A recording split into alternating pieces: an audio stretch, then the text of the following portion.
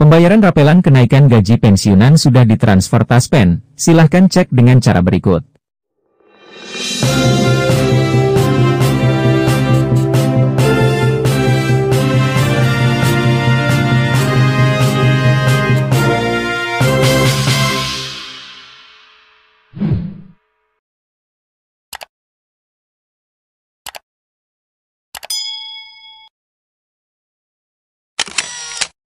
Berikut ini informasi terbaru terkait pembayaran rapelan kenaikan gaji pensiunan untuk bulan Januari dan Februari 2024 yang akan ditransferkan.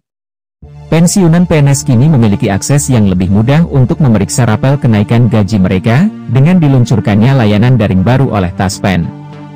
Langkah-langkah ini memungkinkan pensiunan untuk mengajukan klaim secara online atau mengecek saldo mereka melalui aplikasi TOS Taspen.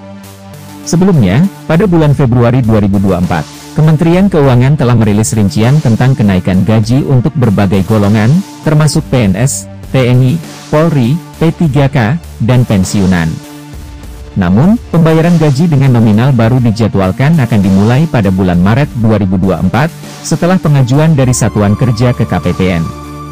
PT Taspen, selaku penyalur dana pensiun, mengumumkan bahwa pensiunan segera akan menerima pencairan rapal kenaikan gaji untuk bulan Januari dan Februari 2024.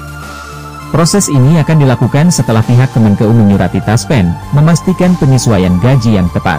Dalam surat pengumuman nomor PUN 01 DIR 2024 yang diunggah di media sosial Instagram @taspen, Taspen memberikan informasi terperinci tentang pembayaran pokok pensiun baru dan rapel kekurangan gaji.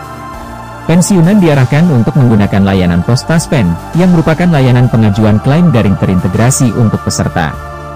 Untuk memudahkan pensiunan dalam memeriksa rapel kenaikan gaji mereka, Taspen memberikan panduan langkah demi langkah. Langkah-langkah tersebut meliputi akses ke situs web resmi Taspen, pengisian biodata peserta, verifikasi melalui email dan SMS, serta pengisian data sesuai permintaan formulir. Dengan kemudahan akses ini, diharapkan pensiunan dapat lebih mudah memantau dan memverifikasi pembayaran gaji mereka, meningkatkan transparansi dan kenyamanan dalam proses administrasi keuangan mereka. Demikian informasi singkat yang dapat admin sampaikan di kesempatan ini, semoga bermanfaat buat Bapak dan Ibu sekalian, sampai jumpa.